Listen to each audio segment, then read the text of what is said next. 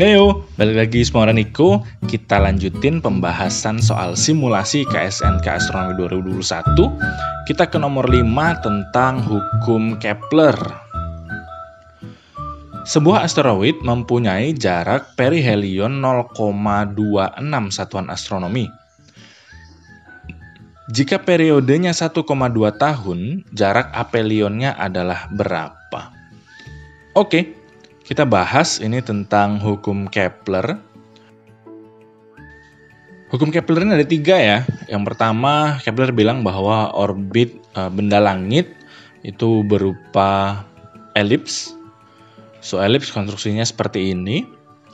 Elips punya dua fokus, di mana di salah satu fokusnya terdapat pusat orbitnya, e, misalnya bintang atau matahari gini ya.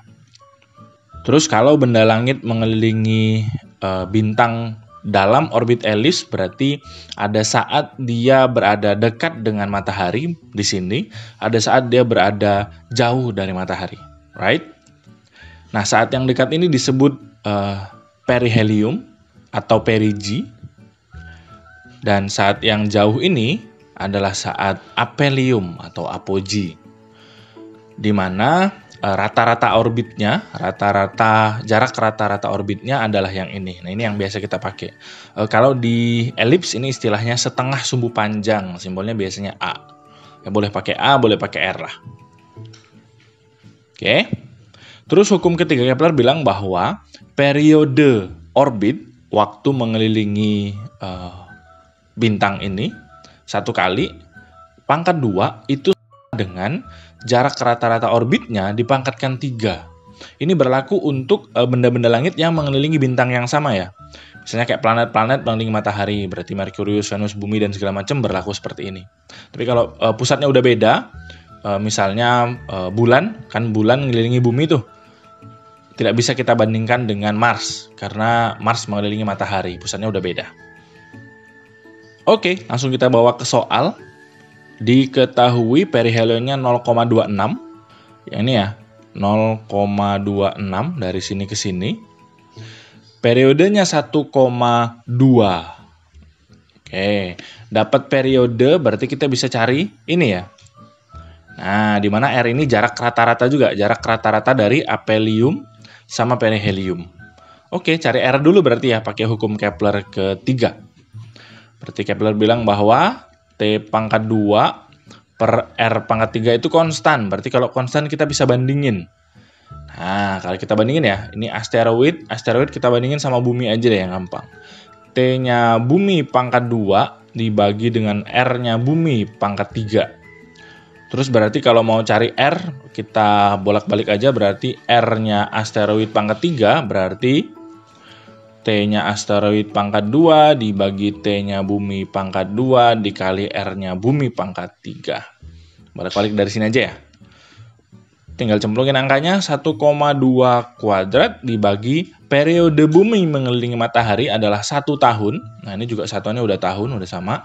Pangkat 2 terus dikali uh, R-nya bumi pangkat 3. Jarak rata-rata bumi mengelilingi matahari itu adalah definisi dari satu satuan astronomi pangkat 3 nanti. Berarti nanti satunya dalam SA karena ini dalam SA ya. Oke, ini RA pangkat 3. Terus berarti kalau kita mau cari RA-nya ini tinggal 1,2 pangkat 2. Terus di akar pangkat 3 ya akar pangkat 3. Pencet 1,2 pangkat 2 dulu. Nah, karena ini, karena ini 1, 1 berarti ya sama aja hasilnya. Nggak mengubah. Terus ini biar hilang pangkatnya jadi akar pangkat 3. Tinggal dipencet. Nanti dapat nilainya adalah 1,129 SA. Ini jarak rata-ratanya ya. Atau R-nya ini. R-nya orbitnya asteroid ini. Nah, habis dapat nilai R ini, ini sama dengan R ini ya. Oke, saya tekankan lagi. Uh, kalau mau cari nilai apheliumnya, berarti R tadi, R ini kan nilai rata-ratanya nih. Berarti kita bisa tulis begini dong.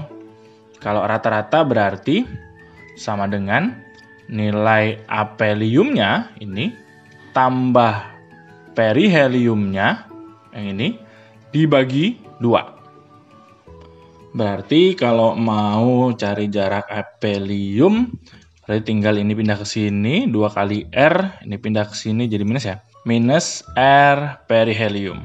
Udah tinggal dicemplungin aja angkanya. Berarti dua kali R-nya yang ini ya. Ini asteroid. R asteroid jarak rata-rata tadi 1,129 dikurang 0,26 yang ini tadi yang perihelium tadi. Udah tinggal dipencet kalkulator nanti dapatnya adalah 1,998 alias kalau mau dibuletin jadi 2 SA satuan astronomi. So the answer is D. Nah, seperti biasa akan ada soal challenge. Tapi uh, dari soal tadi aja saya ambil kan udah ada jarak perihelium sama apelium. Saya minta kalian untuk ngetes hitung eksentrisitas orbitnya. Eksentrisitas ini tingkat keelipsan orbitnya ya. Kalau nol berarti dia lingkaran, semakin mendekati satu berarti semakin lonjong orbitnya. Oke. Terus kalian bisa juga cek uh, playlist mekanika benda langit untuk pelajari soal-soal dengan variasi itu.